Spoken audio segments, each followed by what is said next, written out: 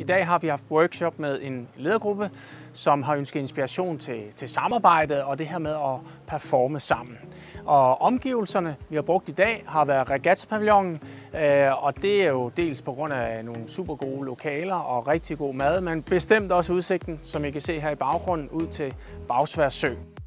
Jeg har haft ledergruppen ude og ro 8, og det er, fordi det har været et super godt redskab til netop at have følelsen af det her med samarbejde. En ting er, at man taler om tingene, men det her med at få det ind i kroppen, er jo i virkeligheden der, hvor man reflekterer og får nogle gode paralleller til sin dagligdag.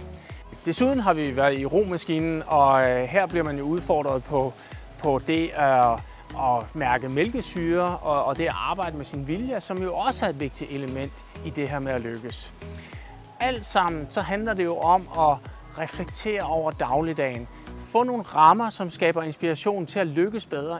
Og hvis du lykkes i dagligdagen, jamen så lykkes du også med de overordnede store mål.